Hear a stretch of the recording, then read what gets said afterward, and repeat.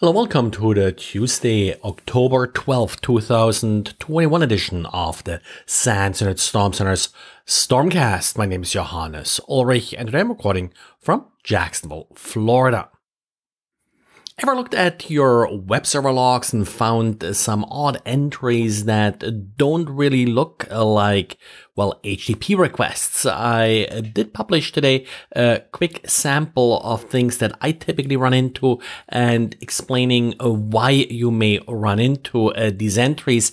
This happens more often if your uh, web server is listening on odd port that's also used by other services. For example, the Android debug protocol uh, that's uh, very often still scanned, even though it hasn't really been exploitable in any somewhat recent version in of Android.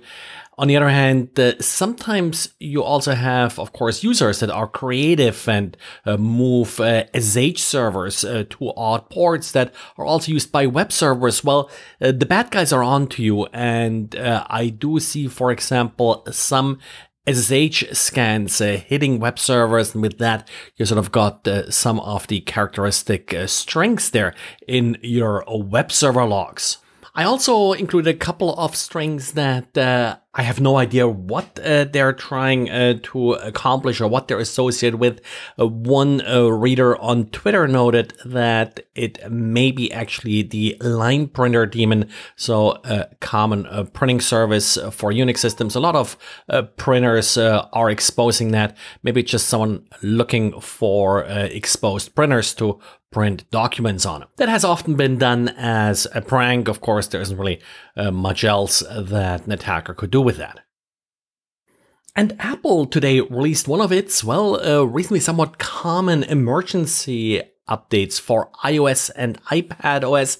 This brings both up to 15.0.2 and it fixes a single vulnerability, an IO mobile frame buffer overflow CVE 2021 3. The reason we get this update is as before, uh, this has already uh, been exploited out in the wild.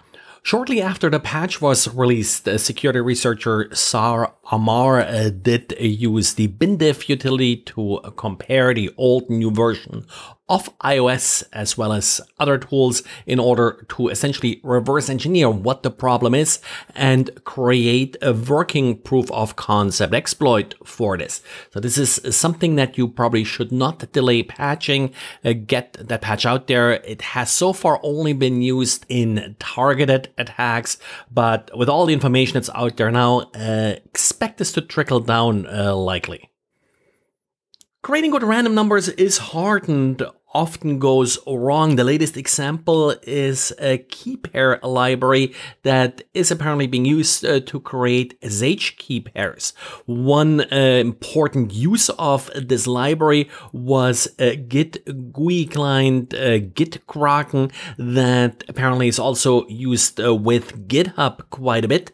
So uh, GitHub now went ahead and uh, revoked any keys that were created with Because of uh, the weak random numbers used in creating these keys, which essentially makes these keys guessable. So if you use GitKraken to generate any SH keys, uh, please uh, swap them out uh, if GitHub hasn't already taken care of this for you.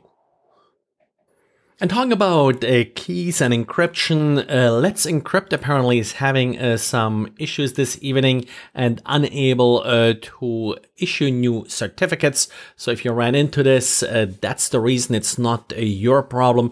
Shouldn't really be too much of a problem if you're renewing certificates because the standard clients are renewing certificates with ample time to spare. but if you, of course, just set up a new site, need Let's Encrypt encrypt certificate. Uh, no luck for you.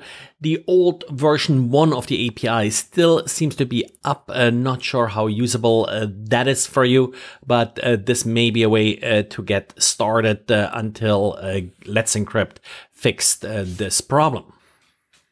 And we do have an update to Google Chrome. It fixes four vulnerabilities. And as usual, just let Google do its auto update thing.